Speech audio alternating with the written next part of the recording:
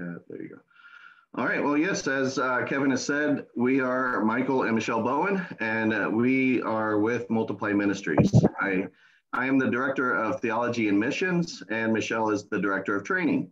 So if she does a little bit more in the training here tonight, you'll understand why. But um, as Kevin said, that she and I do have some experience working together, and both of us just have a heart's desire for um, reaching the lost as well as uh, equipping and training those who are also interested in doing the same. Uh, uh, Pastor Kevin, thank you so much for inviting us to join you tonight and to share a little bit about cross cultural ministry. So, as we begin. Can you hear me okay, by the way? No. No, uh, if you can uh, maybe scooch in closer to your hubby and talk into his computer. Uh, can you hear me guys? That was a little bit better, but not by much. Try it again.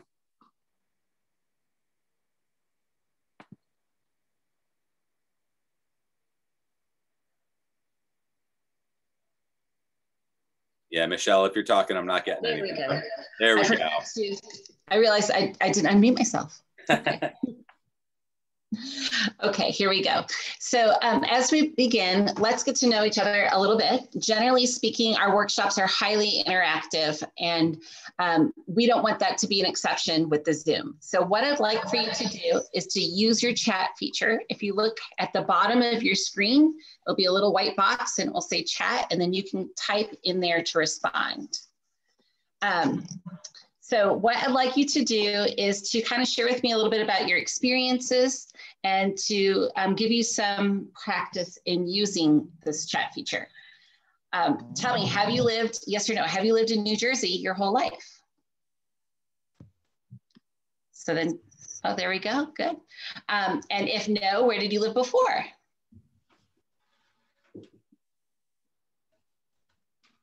So Michigan, Massachusetts, ooh, Thailand, Philippines, okay, awesome.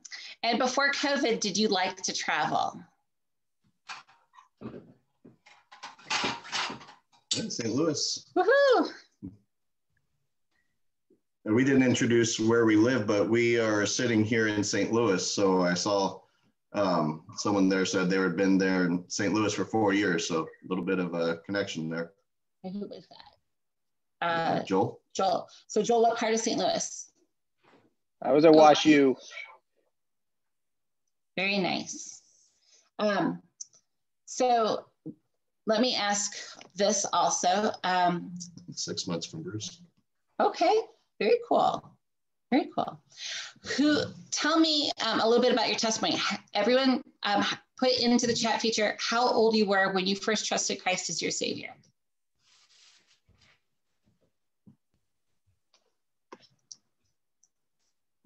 Question for me, okay. And then um, who first shared the gospel with you? Like, was it your mother? Was it your father? Was it someone from um, uh, from your church? Maybe it was a friend, a coworker. And how confident are you in sharing the gospel with others? Are you very confident? Are you um, are you um, are you kind of new to sharing the gospel? Are you comfortable with the gospel but haven't really done it very often?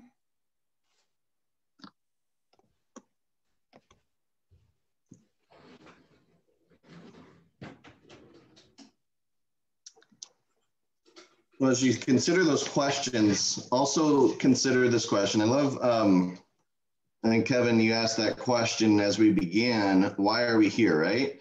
Um, and that, that is a very integral question to our Christian walk, really. What is the dominant driver in why we do what we do? Are we seeking to serving, uh, uh, serve the Lord to glorify his name?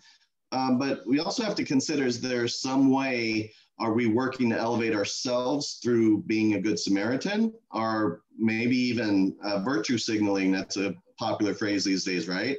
That we're reaching out to others, that we're being a good Christian and doing the things that we're supposed to be doing, right? part of my personal testimony is that at a training for a well-known Christian ministry, I was challenged by the by that very question. Why are you doing what you are doing? And my honest reply, I remember sitting there thinking, well, someone asked me to do it, and I said yes. There was a need. Someone asked me to fill it, and I was I was able to fill it up. While simple obedience and being willing to serve are great responses, we need to move mm-hmm. beyond that first step. We need to go deeper into the reasoning behind what we do.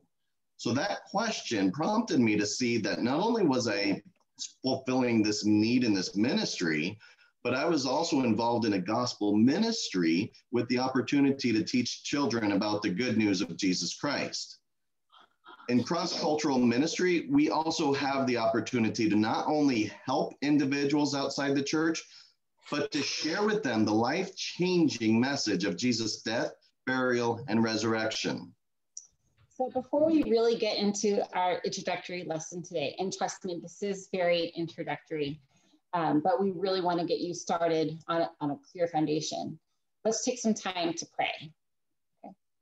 Our Father in heaven, we praise you for loving us enough to pursue you, even when we rejected you. We praise you for the diversity that you've ordained among the people in your world. Lord, we just thank you for sending the Helper, the Holy Spirit, to convict us of our responsibility to be your ambassadors and to equip us with your spiritual gifts in building your church. God, we just ask that you would awaken in our hearts to the nations that we would earnestly desire to be your servants and to be the servant to the people whom you have created. That we would humble ourselves as Jesus humbled himself in order to seek the lost with the gospel. Please prepare our hearts and minds um, and the hearts and minds of those who are soon going to encounter the gospel, your holy word, your, your good news of truth. And um, may they be sensitive to the good news of Jesus' death, burial, and resurrection. It's in the name of Jesus and the power of your Holy Spirit that we do pray. Amen. Okay, so in Revelation uh, chapter 7, verse 9, John shares that in his vision from Jesus, he looked and saw before him a great multitude that no one could count from every nation, tribe, people, and language standing before the throne and before the Lamb. Missions in the 18 and 1900s looked like churches sending people overseas to reach those who have not heard the name of Jesus. In today's century, there are still places of, of vast lostness in the world where no one has heard the name of Jesus, where no one has heard the gospel. And this is still a relevant means of missions. However, today is also a day where people travel more easily around the globe. And just last night, I had a video call with um, a lady in Romblon in the Philippines. And this morning, I had a conversation with a ministry partner in India and another with a ministry partner in Uganda. And then this afternoon, we had another um, video conversation with someone else from India. And here we are having a conversation from Missouri to New Jersey. Uh, before we moved, um, the street that we lived on was very global. The school district was comprised of 85% of students whose parents were born in a different nation. In the city of St. Louis, over 21,000 of the official residents were born in a different nation. And those numbers don't include those who are not officially counted. And it doesn't include children also. We are a global society and the nations have come to us. Jesus commanded us to go and make disciples, baptizing them in the name of the Father and the Son and the Holy Spirit. In Matthew 28 19, we, we read that Great Commission. And he mm-hmm. promised to send us the Holy Spirit to empower us to do this work, to, to be like, to, to share our testimonies, to testify in Jesus' behalf. In Acts 1 8, um, it says, But you will receive power when the Holy Spirit comes upon you, and you will be my witnesses in Jerusalem and in Judea and in Samaria and to the ends of the earth. Well, guess what? The ends of the earth are in Jerusalem for, for us right now. So we are going to take a significant moment to clarify the gospel regardless if you are sharing the gospel with someone you know well or someone whose background is dynamically different, we must be able to communicate the gospel effectively. So on your notes, if you have those, uh, you will see a cross. If you don't have the, a copy of the notes, you'll see that as we go through the gospel basics, we will be drawing a cross um, as we go through it. So this is a mnemonic, I can never say that word. Mnemonic. yeah, it's a reminder, visual reminder uh, that when you think of the gospel, you think of the cross. Let's compare the character of God and the character of people. So God, he's holy. Revelation 4 8 tells us that God is holy, that he is eternal, he is all powerful. By contrast, people are sinful. We know a verse for that, don't we? Romans 3:23 tells us that all people in all times in all places sin. Sin is anything we think, say, or do that brings dishonor to God. It is our rejection and disobedience to him. Our character is what divides us from God. Through our sin, we have earned death. It separates us from God. Oh, yep. See, when I can't see a scribbling fast and the smoke rising from the pencils, I uh, forget that you need to write things down. And uh, in the chat box um, is a link to the notes there. Uh, Kevin, I see you put that there. Thank you.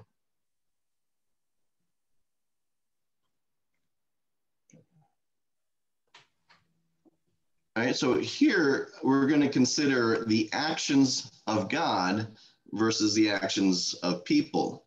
So God responded to our need for restoration. God demonstrated his own love for us by sending Jesus to die in our place. If our sin earns death, God's holiness gives life. Because Jesus is God, he is holy. Because he is holy, God's justice can be met. Only Jesus could take our punishment and shame because only Jesus is righteous and without sin. So here we draw a line from God to people because that is who Jesus is. He is Emmanuel, God with us. So the line of character, that that line, the dotted white line that you see, that's representing the sin that separates us from God. And the line from God is holy to people are sinful. God sending Jesus, demonstrating his own love for us, you know, Romans 5 8, and sending Jesus, that is drawing the cross. And that is kind of your mnemonic tool to rem- remember these verses. So remember how we said God is eternal, the same yesterday, today, and forever? Remember how we said he is all powerful? God knew before he created us that we would reject him. Before the beginning of time, it was his plan to redeem us through Jesus. He revealed his plan to us through his holy word, the Bible, the scriptures. So, what is the gospel? My favorite verse or verses for declaring what the gospel is is found there in 1 Corinthians 15, 3 and 4 that Christ died for our sins according to the scriptures. He was buried and he rose again on the third day according to the scriptures. It was God's plan all along. Jesus is the fulfillment of God's promise to us for restoration to him. So before we go on and kind of review, can you tell me in the chat box, um, are the, these verses verses that you have memorized? Are, are you good at memorizing? Is that something that you personally do? Or are you familiar with them? We've heard them, yes. Um, but is it something that we've stored in our hearts?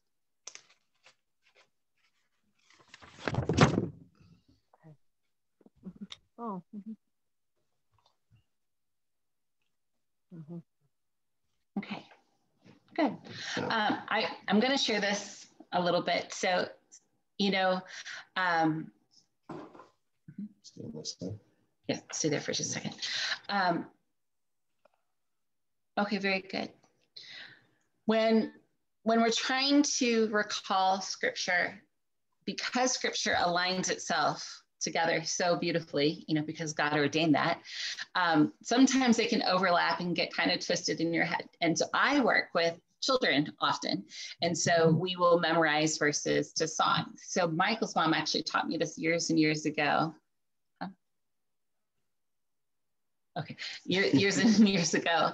Um, for the First Corinthians 15, 3 and 4, um, Christ died for our sins according to the scriptures, and that he was buried and that he rose again on the third day according to the scriptures. So don't um, don't shy away from using songs or mnemonics or things to help you to memorize. Uh, we actually have a whole workshop on how to memorize scripture even as adults called Peeling Stick. Um, but take some time to memorize these verses if you haven't memorized them already, because when you get into a conversation, if they're so well known that they just rattle off your tongue, it'll be much easier to converse. All right, so as we continue in the slides, if God's response to us was to send Jesus, what action is required on our part? Are, are, are we all saved then? Is everybody saved? Well, um, scripture tells us clearly that no, that's not the case. We must choose God. He wants an authentic relationship from him. It is available freely to all, but we must choose to believe it. John 3 tells us that we are born condemned. We reject God's word and tell him we want to find our own way. We must choose to confess Jesus as our Lord, to believe in our heart that God raised him from the dead. Now, these aren't magic words, but they are words that express our heartfelt trust in the one who has the power to save us. You see that one? There's, you got Romans 10 9 up there? Yes. Oh, it's down the bottom left corner. Mm-hmm. Okay. I got people over portions of my screen, so it's hard to see uh, where it is. But yeah, that's Romans 10 9. If you declare with your mouth that Jesus is Lord and believe in your heart that God raised him from the dead, you will be saved. So, all right. So we're going to take a minute to review. I know we aren't in person. Normally, when we do an in person training, this is when we break into those small groups and have everybody um, uh, talk a little bit together but um, but we need to uh, to speak it out. I saw a couple in a couple people who had their spouse or someone else with them. So go ahead and you can share with them. But um, as we go through the slides again, um, speak with. We're just going to say it. We're yeah, gonna, right. we're going to go through the slide and we're going to start with a blank slide. You have notes, so you, you can go from that. But we're going to say the words out loud because it will help us to practice. And it feels weird if you're in a room all by yourself. But the whole goal is to use this in speaking to somebody else to share the gospel. So let's get the awkwardness out of yeah. the room. And, and secretly, it's a teaching technique that helps you remember because you're not just hearing or you're not just reading, but you're also saying. So it's uh, using different modalities if you're familiar with those phrases, okay? All right, so first, we compare the character of God and the character of people. So together. God is holy. Revelation 4 8. People are sinful. Romans 3 23. Our sin burns death and separates us from God. But God's gift brings life and reunites us through Jesus. Romans 6, 6 23. We're on music, so we can. Christ, Christ died for our sins according to the scriptures, and that he was buried on the third day according to the scriptures. 1 Corinthians 15 3 and 4. Remember, if you say the references, you remember later where it's found, right? And I will tell you that many people that I've shared the gospel with trusted in Christ and told me that the reason why they believed is because it wasn't my words, it was God's words. And the fact that I was able to tell them exactly what God's word said, they were able to verify it and affirm it. Um, there's a lady that I was sharing the gospel with during COVID. And so she's in her car and I'm standing outside the car and she's looking it up on her phone, Googling the verses. And the fact that I was able to say, if you declare with your mouth that Jesus is Lord and believe in your heart that God raised him from the dead, you will be saved. She was like, That's right. She said, That's right. Jesus is my Lord because she trusted. Yeah, that was a neat day because we were trying to find out how we could minister to the community um, even through the COVID uh, restrictions that we were facing. And so we shared the gospel through the phone, and Michelle didn't know she was doing that. She didn't know that she was uh, checking, check, doing a fact check on her. So. Well, not until I went down to meet her. Yeah. All right, uh, next up. So, what action is required for people? So, Romans 10 9. If you declare with, with, your, your mouth, that Jesus, Jesus is Lord and believe in your heart that God raised him from the dead, you will be saved.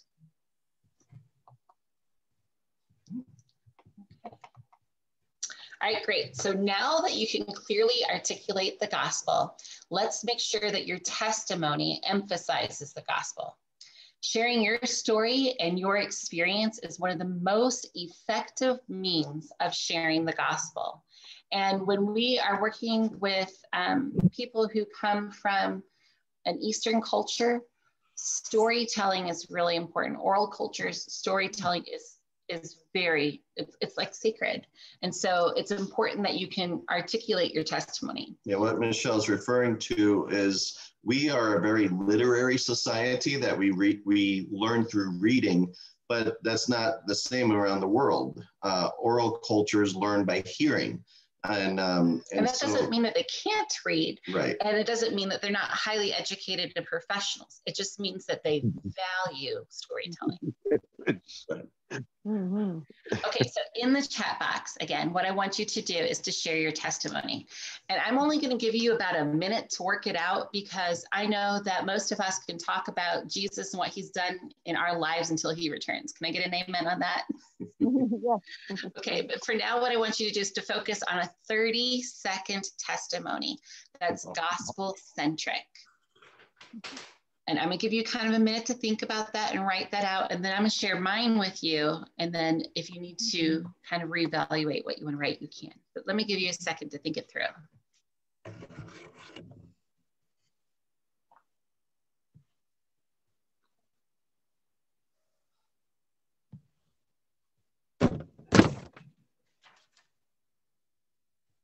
Okay, I'm gonna give you mine as an example. Okay, but I still want to see yours. This doesn't let you off the hook. I first learned about my need for a savior when I attended vacation Bible school. Before then, I didn't even know that I was a sinner. Uh, I thought that my relationship with God was based on the good things that I did. And I was unaware of my offenses toward him.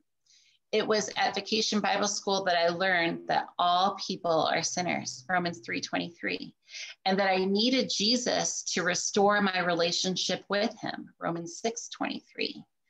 Only Jesus could do this because as God is perfect, Jesus is perfect and Jesus is holy because he's God. And God loved me and he willingly took his place for me on the cross so I could live with him forever. John 3:16.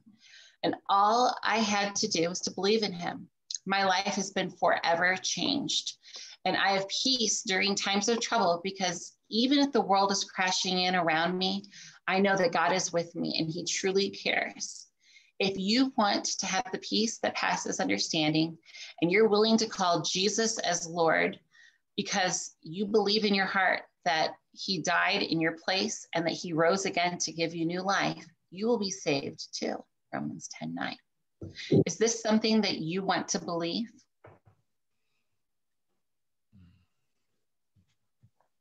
Okay, so take a minute. So I know that you all have trusted Christ as Savior. And if you haven't, now listen, um, Michael and I have been to many, many trainings and workshops and churches in which someone has said, you know what? I've known all of these things and I've known them for a long time, but I don't think I've ever said, wow, Jesus, you're the boss of my life. Yeah, this, I, I need to surrender to you. And if you haven't done that, this is the perfect time to do it.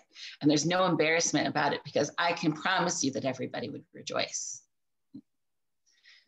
So go ahead and just make a statement or two. Say, I trusted Christ when my mother talked to me when I went to vacation Bible school, and a coworker said, and this is what I was told, and this is what I believed.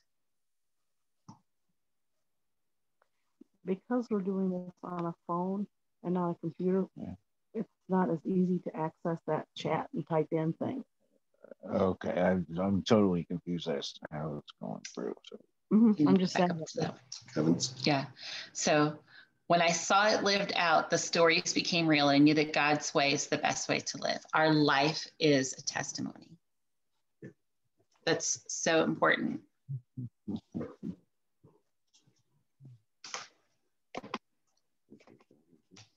I think so. So Michael is going to talk to us a little bit about what a worldview is. Turning it into text. It could be. for all I know.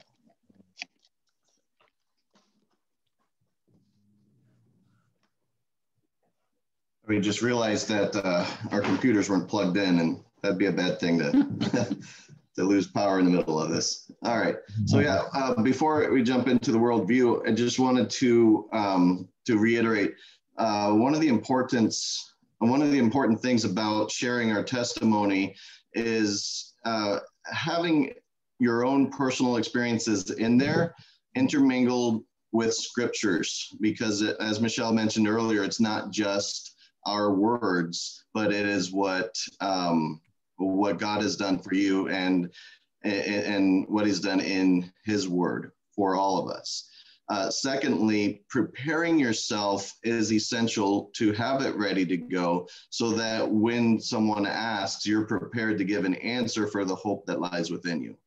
if you make yourself available, God is going to put people in your life. Um, I've had the opportunity to lead people to the Lord at the deli counter at the grocery store. And at that time, you know, I have five kids and they're in and out of the cart, and I really just want to get in and out of the store. And someone leaned over to me and said, You know, um, I don't understand why I'm going to cry, but I'm crying here over cheese because it reminds me of my mother and she passed away. And so I was able to encourage this person and to pray for this person. And this person just asked me, What is this about you? I feel like God put you here for me. Like you're just bringing me peace. And I was able to share the gospel with them. I've shared the gospel with people at the park and at Walmart and in frustrating points of my life with tow truck drivers and so forth. So if you make yourself available, God will put people in your life in unexpected places. So as Michael said, it's so important that you can tell your story. If um, if you are not seeing the the chat box, uh, Pastor Kevin shared a tool to help work out the testimony in there. So just for those who may not um, may not know, I know things sometimes change when the screen share happens, but if you move your mouse up to the top and hover over the word more, the word chat will show up. And if you click on that, then you can chat if you if you don't know how to get it open. That's that's how you do it. Okay. So I hope that's helpful for and we're not forgetting anyone for that reason.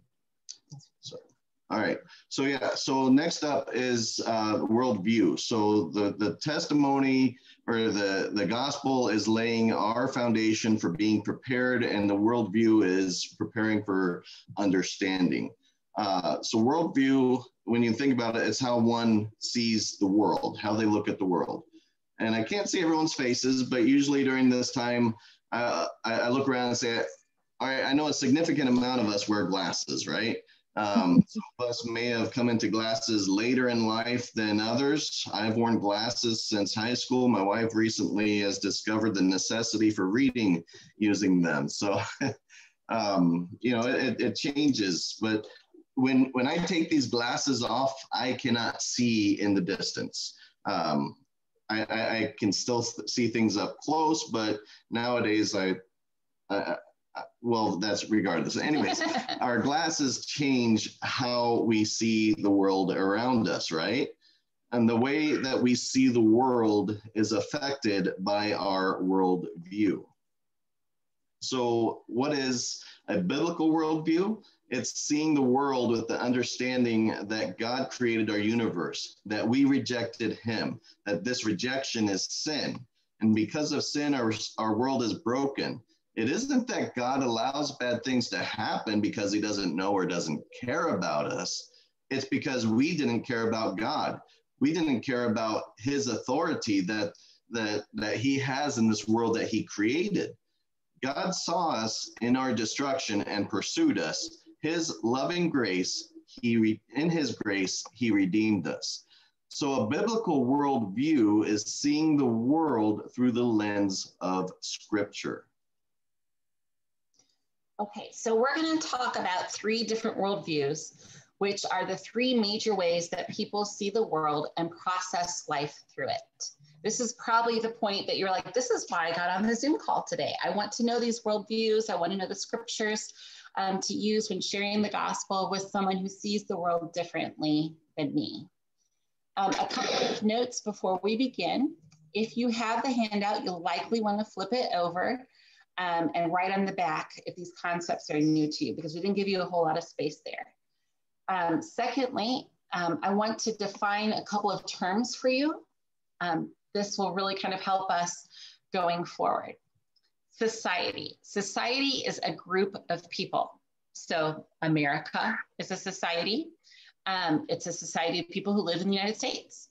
New Jersey is a society. It's a group of people who live in a northeastern state called New Jersey. Your neighborhood is a society. Uh, fans of a particular sport or team are a society. Uh, they come together to watch or play baseball or hockey or golf or football. Um, so if you got New York Mets fans meeting uh, New York Yankee fans, is it going to be a good reaction? might be from the same society as baseball fans, but they're in separate sub societies of, of different sports teams. The church is a society. The church is the family of God. And so we're in the same society because we are believers, but we fellowship and worship in different local expressions of the church. And so those are two sub societies. Within your church, you probably have youth group, you probably have children's ministry, you probably have adult Bible studies, and each of those are societies. Now, um, next, what I want to do is I want to define the word culture for you. Many people interchange the idea of customs and culture, but I want to really clarify that for you for a moment. Culture is what society values. Society is the group of people, and culture is what society values. If you're a Marvel movies fan, then um, you're going to value superheroes and special effects. If you're a fisherman, you're going to value the outdoors and uh, quiet, a good rod, some tackle. Customs are the elements that we see that derive from those values that society, the, the culture, right? So customs are the elements that we see that derive from those values. In Asia, people will um, they'll, they'll bow to each other when, when they greet someone. And the bows might look different. So like in india and pakistan you know they're going to bow like this. But if you're in eastern asia they're going to bow you know this way and at the waist. And, and bowing is a way to show honor. Because they greatly value honor they have the custom of bowing to show that honor. Okay? Um, in the united states our society values time and money and when we say arrive by nine, what we really mean is 10 minutes before nine, because arriving early is a custom that demonstrates our culture. It's important to understand these things because when we present the gospel, we want to do it through scriptures that reflect the shared values of that society. Now, here's an awesome thing God, when He put together His word over thousands of years, through so many people through different languages and people in, in different occupations and statures and so forth. He aligned everything perfectly right? You know god's inerrant perfectly aligned word that all of the gospel all of scripture refers to all of these different worldviews. So you're not going to have to look for something creative. The scriptures that are there um, many times the same passage will have all three of these worldviews presented. So if you're just a student of God's word, you're, you're going to be fine. Okay, so let's talk about guilt innocence. So this is very often kind of a Western um, view. That's how you'll hear it. But really, I would say it's like North America in United States, Canada, and then also Australia. Because those who are really focused on the guilt innocence are focused on right and wrong and independence. They highly value individuality. Um, even Europe has kind of a, a, community sense that, that we'll get to a little bit later. They're a little bit hodgepodge. We all are. We're going to have like probably two worldviews, one primary, one secondary. Um, but in the United States, most of us have this guilt innocence worldview. Uh, we highly value justice. If you notice, like when there's there's riots and protests, it's because people are valuing justice. Um, they see clear lines of right and wrong. Now, here's the thing: you and I might disagree upon what is right and what is wrong. We might have different opinions about what justice is, but the fact of the matter is, we all value justice, and we all are very concerned about truth and honesty and right and wrong.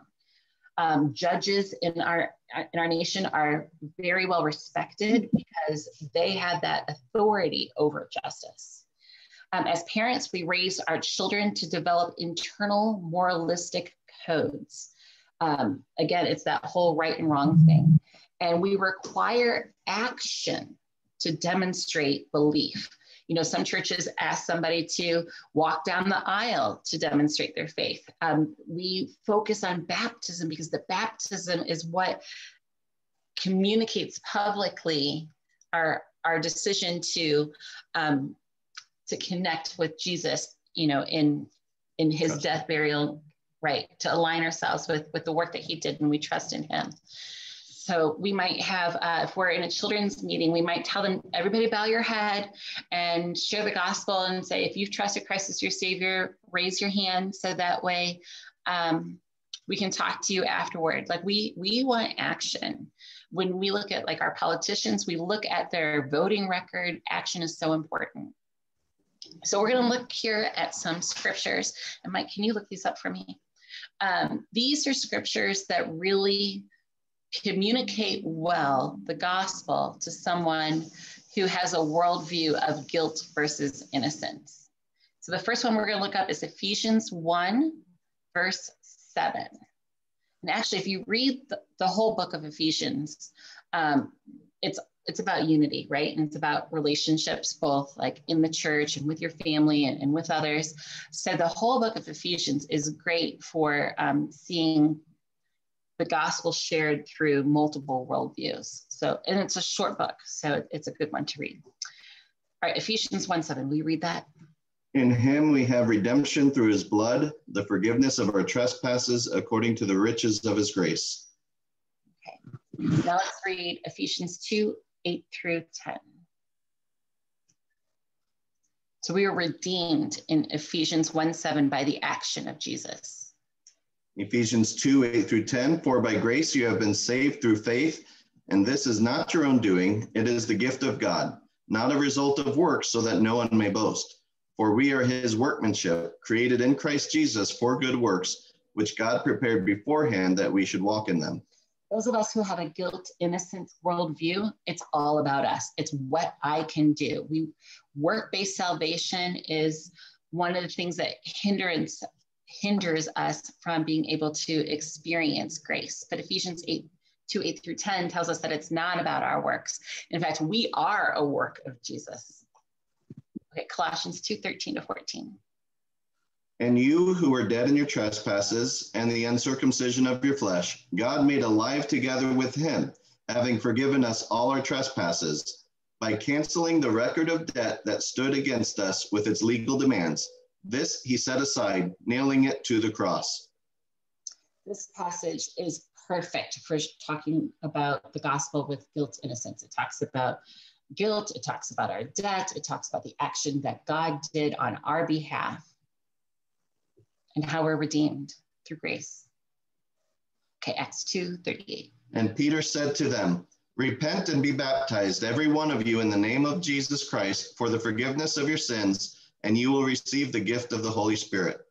So, what do we need to do? What action is required on our part is to re- repent. When we repent and we trust Christ as our Savior, the first action that demonstrates our obedience is baptism. Okay, anytime along the, the way, if you have a question or something and you want to tell us about that, you know, just go ahead and put it in the chats and we'll make sure that we address it. What we're going to do is we're going to talk about shame versus honor.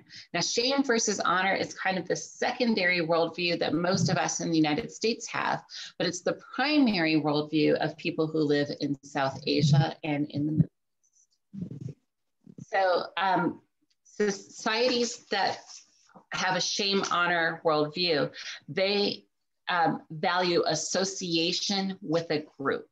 So we are a society of individualists. We want to be pioneers, but they really value kind of being the same. Um, just last night, I was talking with my friend who is a missionary in the Philippines, and she was talking about the fact that uh, one of the people in their church who have trusted Christ as Savior and has been an integral part of the ministry there, um, her name is Lonnie, and Lonnie needed an income. Oh, yeah, we can do that. That's not a problem. Very happy to share. Um, so Lonnie needed an income and they were looking for more opportunities to connect the gospel with people. And um, so what they were doing is Karen was noticing that there's 10 stores all in a row and they sell all the exact same thing. 10 stores are all the same because they have that value of association. And so Karen's like, oh, let's, we're going to make coffee time because all of these places here, they sell something different or the same. So we're going to be different. We're going to stand out. And Lonnie's like, I don't know if we want to do that. I'm not really sure about that. Well, they opened the store and, and things went really well for a long time. And um, people started opening the same store, like three on the same block. And so frustrated that they copied her. And Lonnie's like, no, this is good. This is so good. Because that is the Filipino way. They're showing you honor by doing the same thing. Karen was so upset. They copied their logo, they copied their menu, they copied the descriptions, they copied the the decor. And she's like, they're stealing from us. That's wrong. And Lonnie's like, no, they're showing you love. They're showing you honor because you you did a good thing and we want to be associated with. So shame versus honor society, they care about association and they highly value relationships.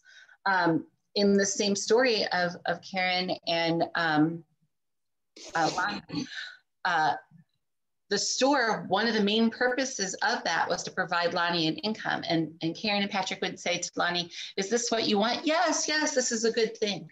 Okay, so we're going to assign the paperwork for it now. You want to work this. This is for you. You want to do this, right? Absolutely. It's a good thing that you're doing. It's a good thing that you're after a year, she's, she quit. And Karen's like, why did you quit? We we did this for you. She said, well, I didn't want to dishonor you by saying that your idea was bad. Uh-huh. So the mm-hmm. relationship was more important than being honest.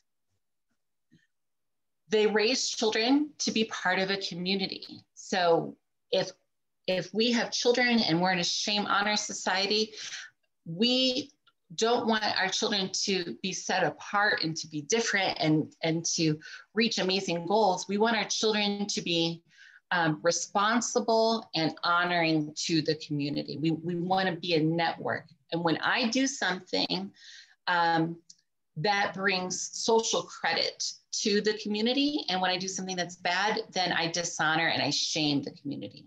So honor and shame is a social credit within the society that affects me, it affects my spouse, it affects my family, it, respect, it affects my church. And you know, that's true here in the United States. If as a ministry leader, you know, let's say Michael is caught into sin, he's caught in sin and he's a ministry leader. Well, that brings shame on him brings shame on our family. It brings shame on the church and the ministry. It makes it harder for the church to be effective in their ministry. That's why we have child protection um, in our churches. That's why we have different rules and policies because we want to protect the name of Jesus and the testimony. Okay, so we're going to, um, oh, was there a question? Okay, no, okay. We're going to read through some scriptures, Romans 3.23. that one. For all have sinned and fallen short of the glory of God. That means the opposite of glory is shame. Okay, glory is is praise and honor and saying you are worthy.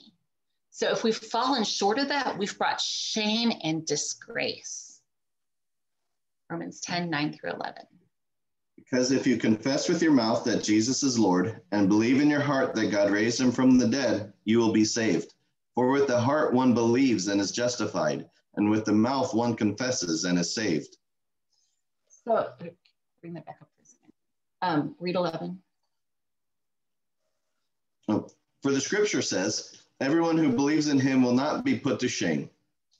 So when we, be- if the opposite of not being put to shame is to bring honor, right? So one of the things that we found when we were in India is when we talked to people about um, reconnecting with God, they don't want to be reconnected with God because we're here on earth because we brought him shame. So we're going to go back to scriptures a minute, but I, I kind of want to bring this picture in for you.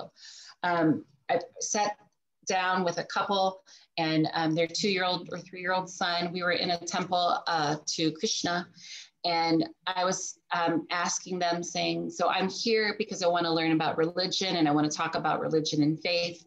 And can you tell me a little bit about why you're here at this temple? Tell me about your religion and your faith." And I was told that uh, they are looking to find ways of escape, and that's what the process of yoga is. Yoga leads us to escape, to nirvana. So that way, not necessarily to reconnect with God, but to be um, escaping our shame, right? So the story is this so there, there's so many, many, many gods, but they all have the same beginning story. And that's our God created us. We can agree with that, right? Our God created us. And when He created us, or she created us. Everything was perfect and everything was beautiful and everything we needed was available. That's true in our story too. Our God created us. He made a perfect world for us and gave us all the things that we needed. Well, we wanted to do things our way. Mm, we also wanted to do things our way. And we were um, kicked out of the clouds. Well, we were kicked out of the garden, right? Because because of our sin. In, in, in the Hindu story, we left the clouds or heaven, paradise. We left there to become kings and queens and rule over our own lives. Well, that's exactly what sin is. We want to rule over our own lives. But here's the difference. In our worldview of guilt, innocence, we say, I'm, I'm guilty and I need to find a way that somebody will call me innocent, or I need to find a way that someone will pay my debt so that way um, I can be restored. But in the shame honor society, they don't want to remind their gods about who they are because they brought shame to them. So they don't want to go back to the clouds. So here we're saying in Romans 10, 9 through 11, we're not saying it, God said it, that no one will be put to shame. When we remind God of who we are, and guess what? We don't have to remind God, He's the one who pursued us. Amen. That we will not be put to shame that we will be actually placed in a, in a seat of honor. We, we become heirs with Jesus. Like, how amazing is that? It also speaks to the confidence that we can have in God's word that he is faithful to his promises. Yes. So that when we trust in him, that we will not be put to shame because our trust is not in ourselves, but it's in him who is faithful. And that's another contrast to the Hindu gods is so another story i was in a temple and um, i was talking to uh, one of the vendors what happens is you go into the temple and then you buy things from the vendors and then you wait in a line forever and ever and ever and then you take those things that you purchased and you lay them down as a sacrifice then a priest comes behind there and he takes them and he takes them back to the vendor to be sold again um, yeah and they see nothing wrong with that at all. Um, but when when you're making, I said, why are we making the sacrifice? Why why are we selling these things to lay before the gods? And she said, well, we have to remind her that we're here. And I said, really? Is your God a powerful God? She must not be very powerful. And she said, oh, she's the most powerful. She's the most powerful. I said, well, then why do you have to remind her? She says, mm-hmm. because I'm nothing. And I said, oh, I'm sorry to, to hear that you think that you're nothing because really you're very valuable. Because my God has been pursuing you. I said, I have a question. Who loved who first? Did your God love you first or did you love your God first? She said, Well, I love my God first. That's why I'm here because I'm trying to get my God to remember who I am. So that way she'll give me some special favors or blessings. And I said, You know, I I own a copy of God's word, and in in the in the book of His words, what it says is He first loved me. I said, think about that for a minute. The God I want to talk to you about loved you first and pursued you and demonstrated his love for you in sending Jesus. And then we talk about how Jesus laid aside his glory as God and came to earth as a man and then was publicly put to shame as he was stripped naked and beaten and hung on a cross for people to mock. He took our shame so we could be restored to a position of honor. So it's, it's in how that it's presented. Okay, um, Hebrews 12, 2. Sorry. Hebrews 12, 2. Looking to Jesus, the founder and perfecter of our faith who for the joy that was set before him endured the cross, despising the shame, and is seated at the right hand of the throne of God. And that kind of goes with what I just said. Right. So Ephesians 1, 4 to 6. Remember, I said Ephesians, you can just read straight through Ephesians to see all these worldviews presented. And as you're reading, you're gonna be like, oh, I see that that's shame, honor, that that's fear, power. Ephesians 1 4 through 6. Even as he chose us in him before the foundation of the world, that we should be holy and blameless before him. In love, he predestined us for adoption to himself as sons through Jesus Christ, according to the purpose of his will. Through 6. To the, to the praise of his glorious grace with which he has blessed us in the beloved before the foundation of the world, he chose us. We didn't have to like curry favor with him. We didn't have to make sacrifices. Jesus sacrificed for us on our behalf.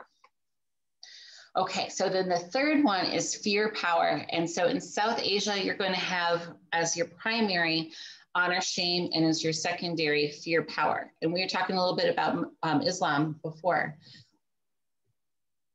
as a culture here in the United, as a society here in the United States, our cultures are a little blurred because we have multiple worldviews. And the same is true um, in India. And so the Hindu um, philosophy is going to be um, layered with the fear power philosophy from, from the Muslims. And the Muslims' fear power philosophy is going to be layered with the honor shame Okay, so these societies that have hold the worldview of fear versus power, they believe in unseen powers. We would say that they're superstitious. Um, they raise children to be aware of the supernatural and they seek to manipulate situations to their favor. Actually, in scripture, if you read about Simon, who, who wanted to have like the special abilities and so forth, um, that would be manipulating a situation to your favor. And so this is like where you have like witch doctors and um, um, oh yeah, and spirits. They believe in spirits and they believe in demons. And we should believe in demons and, and we should believe in the supernatural.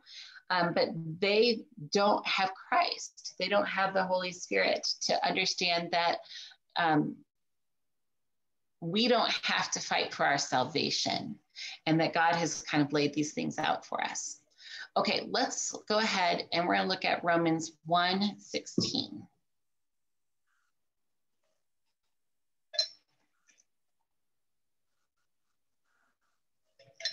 For I am not ashamed of the gospel, for it is the power of God for salvation to everyone who believes, to the Jew first, and also to the Greek. The gospel is power and the gospel brings out honor. Romans 1:16 is a really good verse to memorize. All right, back to Ephesians. Back to Ephesians 1. All right, verses 19 through 21. And what is the immeasurable greatness of his power toward us who believe, according to the working of his great might, that he worked in Christ when he raised him from the dead and seated him at his right hand in the heavenly places, far above all rule and authority and power and dominion, and above every name that is named, not only in this age, but also in the one to come. This is actually an amazing passage for all three worldviews. You know, it talks about power, it, it talks about um, the authority that God has over us and that He's given us authority too. You got to read 22 and 23. Okay. And he put all things under his feet and gave him his head over all things to the church, which is his body, the fullness of him who fills all in all. So yeah, it, it completes the power, and and it goes along with um, with Philippians chapter two as well, and um, what Christ did uh, here on earth elevates him in heaven, where now he's seated at the right hand of Christ until um, until he, God has put everything under his feet, right? And so it's it's showing that when he's putting everything under his feet, we don't have to fear uh, this what they would call the spirits, the, the demons that, that fight against us, because he's already conquered them. They, they have no power over us if we are under him as the church, as his body, uh, who he is the one who is filling all in all. And so, because we have Him as our God, not just as our distant God, but as a personal God who loved us, pursued us, and sought us out and conquered sin and death, then we know that there is nothing that can separate us from His love. Uh, 218. Ephesians 2, verse 18 for through him we both have access to one spirit to the Father, or in one spirit to the Father. So, one of the things is when you're talking to someone who comes from a fear versus power worldview, you need to clarify who the Holy Spirit is. That the Holy Spirit is God, that he's part of the triune Godhead, and that it's not like I have it's not like a, a good spirit versus bad spirit, like good witch, bad witch of the Wizard of Oz kind of a deal. That, this is God Himself. Okay, so we're not going to read all of John 3, but what I want to point out in John 3, um, I think in verse 8, can you scroll up a little bit? Uh, no, um, yeah, the, the wind blows. Start with uh, so Jesus, you know, told Nicodemus that we have to be born again, right? And he's like, how can we be born again? How can a man re-enter his his mother's womb? And then in verse five, Jesus answered, uh, "Truly, truly, I say to you, unless one is born of water and the Spirit, he cannot enter the kingdom of God. That which is born of the flesh is flesh, and that which is born of the Spirit is spirit. Do not marvel that I said to you, you must be born again." The wind blows where it wishes, and you hear its sound, but you do not know where it comes from or where it goes. So it is with everyone who is born of the Spirit. When you're talking with someone who has a fear versus power worldview, they understand the supernatural exists and they understand spiritual things so much better than we do, who are very science minded. You know, the word science, it, it makes me laugh because science simply means the study of. Um, so it means like we don't really know. So we're learning, we're going to watch and we're going to observe and we're going to see if it repeats and, and we're going to find out what things we can know. Um, but science sometimes sounds like this is the end of it. We're, we're, learning, we're learning, we're learning. So my whole point about the fear power is that uh, when you're talking to someone about God through fear of who have a fear, power worldview, they're going to be more receptive to understanding um, spiritual things. Okay, uh, 14.6. John 14, 6, Jesus said to him, I am the way and the truth and the life. No one comes to the Father except through me someone in a fear power worldview is looking for the way. What is the way that I can be redeemed? What is the way that I can be made safe, that I can be saved? Well, that way is Jesus.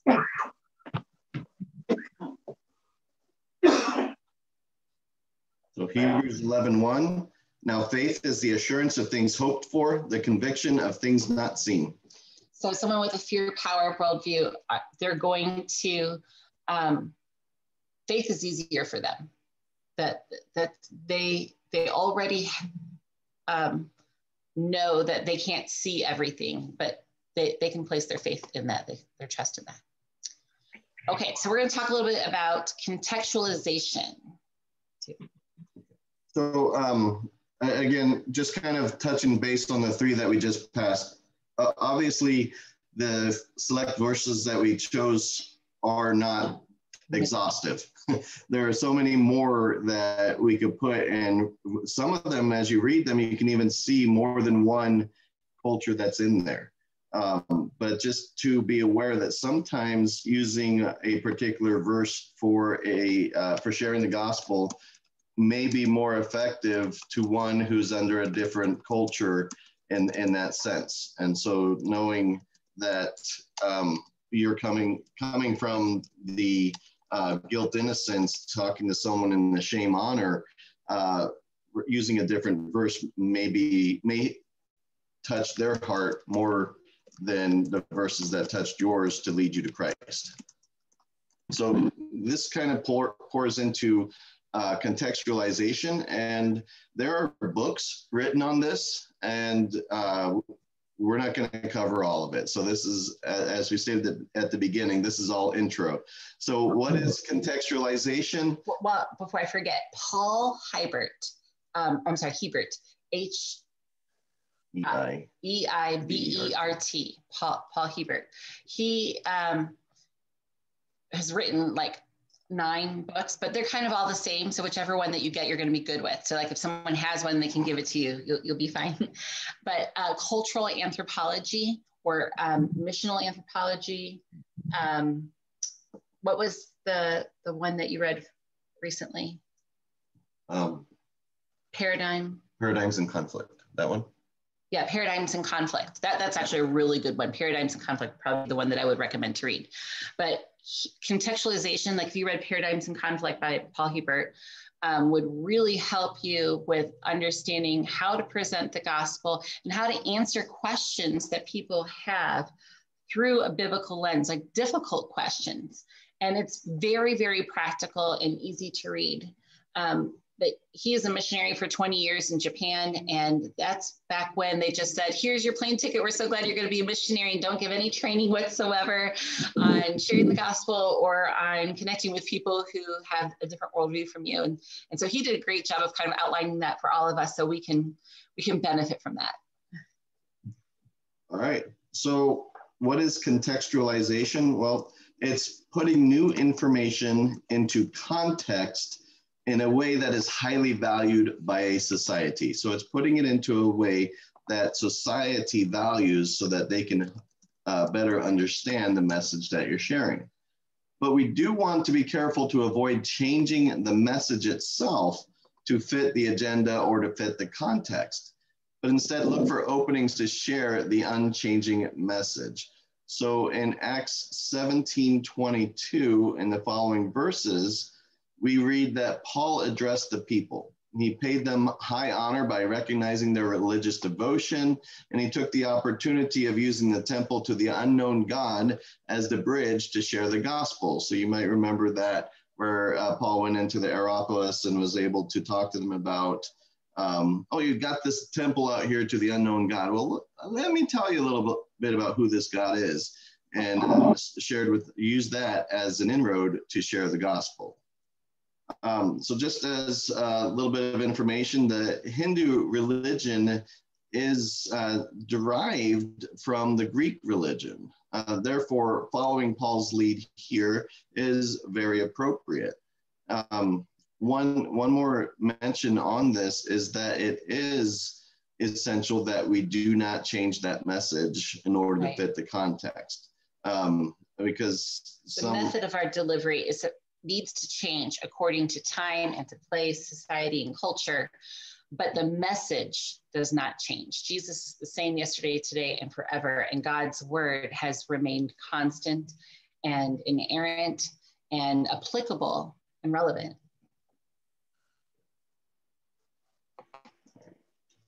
So we've clarified the gospel. We've refined our testimonies. Um, we've defined societies and culture, and we took a, a very brief overlook of the three major worldviews. Um, so, how do we use all of this to reach our community with the gospel? Uh, we're going to very briefly touch on this. We only have, you know, a few more minutes. We actually do an entire workshop called Know Your Neighbor to kind of figure out how to build these bridges. But I just want to give you kind of something to think about and to get started in your own mind. Um, First, we want to honor anyone with whom we're speaking. I mean, it's a very biblical concept, right? First uh, Peter 2 17 tells us to honor everyone, to love the family of believers, to fear God, and to you know respect our government leaders. Um, how can we honor someone from a Hindu background when kind of saying, you are believing a lie, and I want to tell you the truth? Well, we really want to respect them. And one of the ways that we can bring honor to someone who values honor um, is to let them speak first. So, what you want to do is you want to give them the opportunity to share first while you are listening. When you sit and you listen, you're sharing honor. It starts with asking questions. Yeah. But let me say another thing sit down. Like, seriously, um, if you are elevated over someone, then you're showing dominance, and that's not honoring. That's a place of honor that you're given. Um, so if you're going to speak with someone, always sit down. And um, it's okay to slouch a little bit because if I'm slouching to be a little smaller than Michael, right here, if I kind of do that, then I'm showing him honor by not trying to be taller than him. Um, so that sounds kind of silly, but this is part of their worldview and their culture, what they honor and, and value. And so slouching, you don't have to have perfect posture. You can slouch and you'll be being respectful that way. They'll, they'll be more likely to hear you. Being relaxed. Yeah. Show, doing things like don't cross your arms, don't cross your legs. Um, if you're invited to somebody's home, make sure you take your shoes off before you go inside. Mm-hmm. If you want to um, really have a conversation with them, invite them for coffee or tea, and take a long time to sip on that hot drink because we spend money and we, we're stewards of time and we want to value your time by only taking a small bit of it. But the Hindu society is not that way. In fact, you're going to demonstrate honor for them by taking a long time. We, we were walking down the street and Michael asked somebody if he could talk to them a little bit about their faith and their religion. And they just sat down on the sidewalk and they sat there for like four hours having a conversation. You had a conversation with someone on the steps um, to the to the mosque and had a conversation with a, a man from the Hindu faith on the steps of a Muslim mosque in. India. Yeah, and for hours, for hours they sat there talking, and they, and there's a whole other story that yes. um, Kevin has heard, but we'll have to share another yes, time. We gotta gotta watch our time. Okay. so anyway, let me repeat. You want to give them the opportunity to speak first. So tell them that you would like to know more about their faith and their beliefs. Hey, can you tell me more about your faith and your beliefs? I would really like to know. I'd like to know more about who you are and, and your culture. Um, and then listen, like really listen.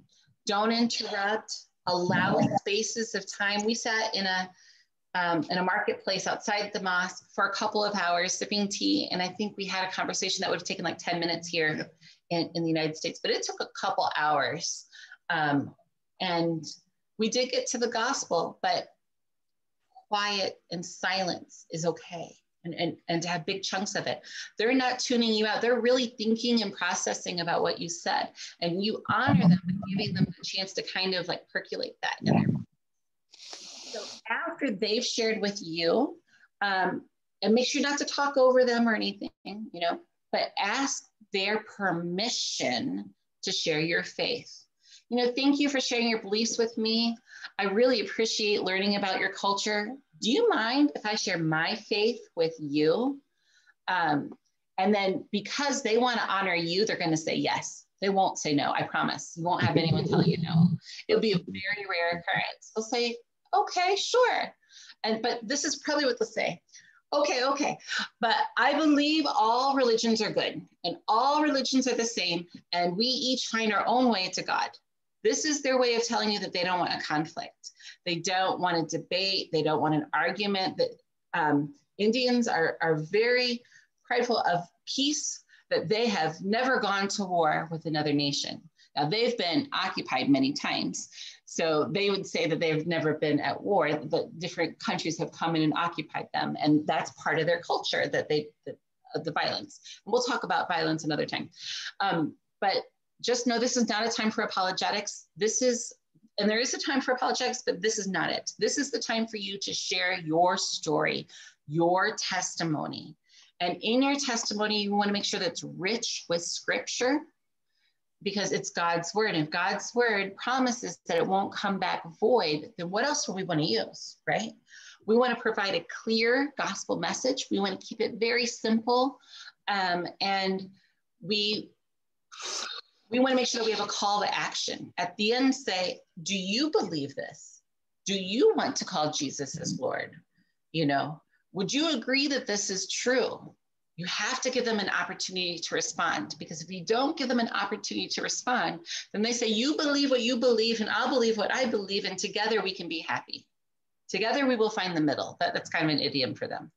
Um, not you, not me, but somewhere, in, in somewhere, somewhere in between, right? So that's kind of where that they will come with. And you don't want to go there. You want to say, My God loves you. My God is the one and only God, and He pursued you. Would you call Him Lord? And, and put your hands out like this, like you're giving a gift because you are, and allow them to receive it.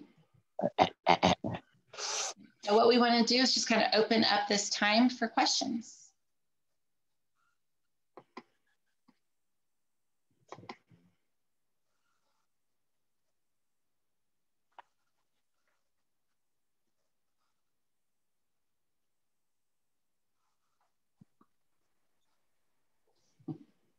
So here's the thing you might have questions tomorrow or next week or a month from now totally feel free to reach out to us directly. Um, you can get our contact information at multiplyministries.org. Here, I'll put it in here. My Facebook.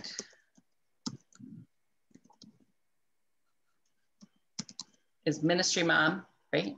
Yeah. Huh? So I don't know. I yeah. type that in. So um, just use Messenger. you can reach out to us, uh, director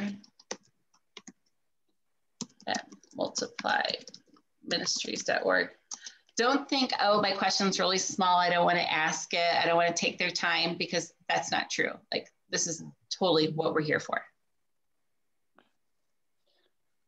So I'll pull up Bill's question. Sorry.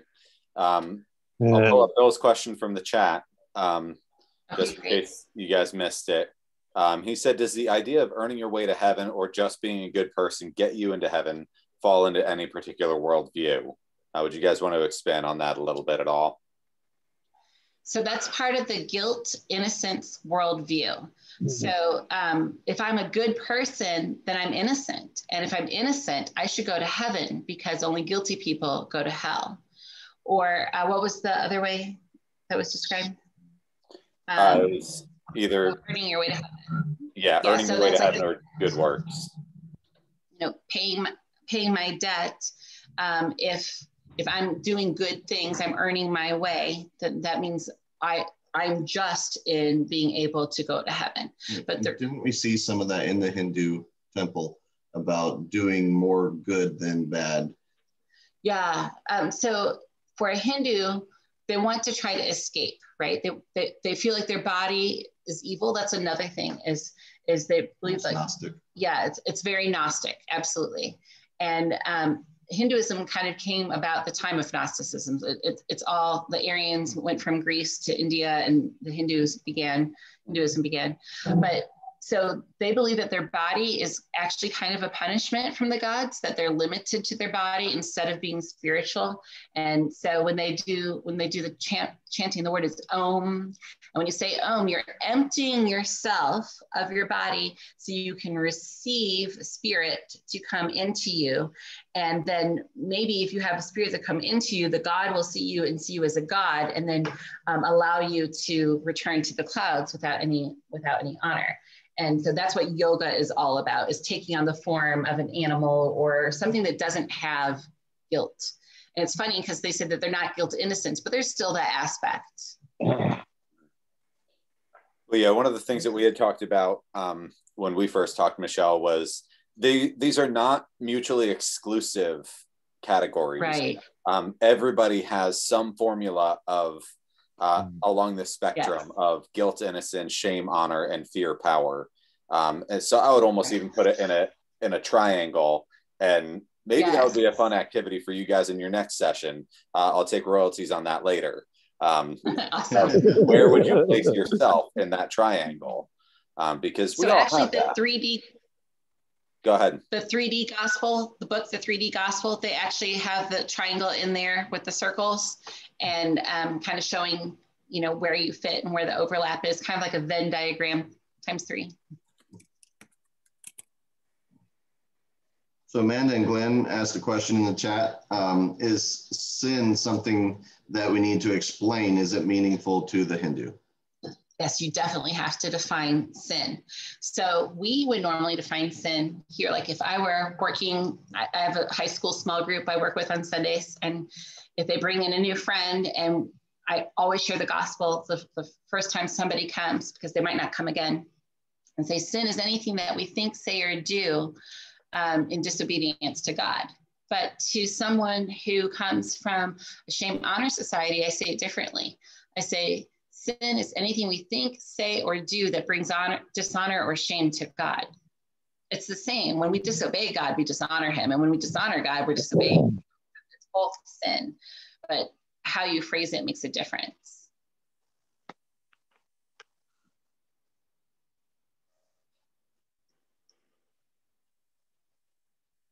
Yeah, the and the 3D gospel book, it's really short. It, it's it's like a glorified pamphlet.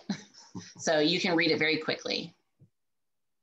Oh, another book that is good is um, Across the Street and Around the World um, by, by Jeannie Marie. And that's not her full name because she's a missionary and she works in a restricted area. Um, and so that's why it, it, doesn't sound like a last name. Um, but the first half of that book is really written to every Christian everywhere and, and how you can connect uh, with people in your everyday circle to bring the gospel. And then the second half is really kind of taking these worldviews and um, connecting. Um, connecting them to the gospel through scripture, through those worldviews. Uh, the first half really starts with her story. And I feel like if you read that, you'd be like, this is exactly where I am right now. Because the beginning, she was like feeling convicted that she was called to missions, that maybe she should be kind of missional in her everyday life right now. and so she and her two year old uh, go down to this refugee um, center that's run by Muslims for Muslims. And she says to them that she, yeah, that's it there. She, she says to them that she wants to serve them. And they're looking at her like, really? And she's like, well, so here's the reason why, because I believe in Jesus and I follow him. And he says I'm supposed to love my enemies. And then she's like, oops. she's like, and To love on foreigners in this land. And like, she's like, I'm digging myself deeper, deeper, deeper. She's like, I'm just supposed to love my neighbor. And you're my, my, my late, my neighbor. How can I do that? And then, so um, I, I'm not going to tell you her story because it's really worth reading in the order that, in the way that she, she tells it but I think that you'll find yourself in it very quickly and be able to find some very practical ways for reaching your neighbor with the gospel through an authentic relationship. So regarding uh, Chinese, Japanese, and their worldview, they will be similar in the shame honor culture. Um, yet you, each of them individually will will follow probably something different as there, there's Buddhism as well as other forms of mysticism that they would follow, which you will not be able to determine without speaking to them individually. And yes. I think one of the key things for us all to remember is that don't look at it so much as I'm going to go to this person here um, and share the gospel and they're going to trust Christ right away. Will that happen? Yes, praise the Lord, it will. But what it's going to take is building relationships with the individuals on it and get to know them in a personal manner. So that you're sharing your testimony might just be an introduction. And uh, you need to work to build a relationship with individuals in order for them to begin to trust you, to listen to you, to hear what you have to say. And uh, that's how you'll begin to understand what their individual worldview is by talking to them. Your testimony, we cannot overemphasize how important your testimony is. And let me explain another reason why. In Hinduism, they do not believe in dogma. In fact, they feel that their religion is superior to Christianity because we have a set doctrine. They, they think it's laughable that we can go into your church of a different denomination in a, in a different state and be able to worship with you, worship the same way, the same God, and have the same beliefs of, of the same teaching. Because to them, each person has their own doctrine or their own dogma, and everyone finds their own way to God. You'll hear that phrase over and over again. Your religion is good, my religion is good. We all find our own way. When you find your way, that's good. They don't understand how we all have the same way. But yeah, so universalism. Um, if you've heard of the Baha'i, if you've heard of Mormonism, those are just Western reflections of Hinduism. They, their origins are in Hinduism. So is Buddhism, Jainism, but um, all of those developed um, from the same roots.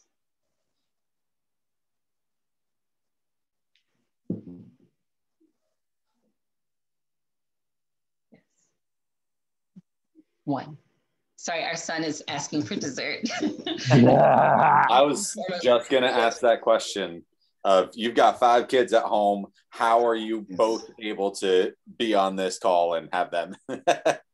we have a 15 and a 17 year old daughter and a 13 year old son who is overseeing eating pizza and watching a movie in the bedrooms. Excellent. All right. Any other questions, comments? Thank you. Well, I have to No, unmute. uh, uh, me to unmute? no, there's- no. Go this- ahead. there we go. I mean, that's why we're here.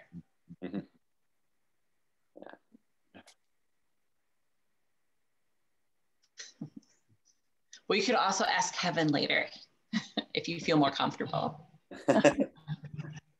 Yeah, I'm you sure I'll, have. it. I'll just Great. email and ask Michelle and Michael. There you go.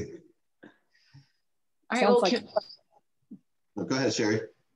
Yeah, no, I, I said that's that sounds like a plan. You know, I'm Okay. sure we'll have lots of questions later on after we're offline, but we can get in touch with you and ask you questions, right? yes, Yes, absolutely. Yeah, and Bill, I think you uh, unmuted. To, did you have something to say also?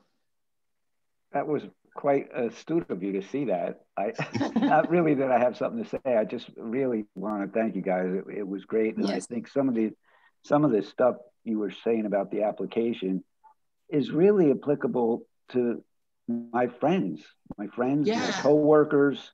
They say the same thing. Yeah, we'll all get Mm-hmm. find our own way to heaven. Right. Right. So it was So- great. Thanks. Something I actually learned from my nine year old in sharing the gospel is um, he was talking to his friend and he said, uh, Oh, she came to the door to see if, if he could play. And he's, he said, No, we're, we're getting ready for Easter. We were actually doing a Seder dinner. He says, We're preparing for Easter. And she's like, Well, what is Easter? And he says, Well, Easter is when, what, how did he say it? The, um, when the king of the world came down and died for us. And she said, Who is that? And he said, That's Jesus. She says, I don't know Jesus. And he says, That's okay. That's kind of the point. None of us know Jesus. We all want to find our own way. And so therefore we don't recognize him when we see him. And I'm like, oh, that's that's how you know I want to start sharing the gospel from now on, is that we we all want to do things our own way, and so therefore we don't recognize him when we see him. Mhm. Hmm. So good. Well, let's we're gonna pray over you, and then if you guys have more questions, you know, you can reach out to Kevin. You can reach out directly to us. Um, our information is in the comments. Yeah. Our gracious God and Heavenly Father, we just thank you, Lord, for all of these people, these, these children of you who love you and who are devoted to helping others to know you, who are taking your great commission seriously to, to reach um, others with the gospel and, and to make them disciples by living together with them in an authentic relationship. Lord, I just pray a hedge of protection over the families that are here because we know, Father God, that as they serve you, the enemy will cower in fear and have a tantrum. So, Lord, I just pray for protection in that way. Lord, I pray that they would be fully aware of the Holy Spirit who lives within them, who empowers them to do the work that you've called them to do. And we pray, Lord, that the Holy Spirit's voice would be well known to those who are about to hear about Jesus for the first time, that they would be receptive to your word, and that there would just be um, growth both spiritually and numerically um, for your house, for your church in New Jersey, Father God. Lord, we just thank you and we praise you. Yes, Lord. Amen. Amen. Thank you so much. Absolutely. All right. Have Thank you, evening. everyone, for coming out. Michelle, Michael, Thank you. guys so much. We Thank really you so appreciate much. your time.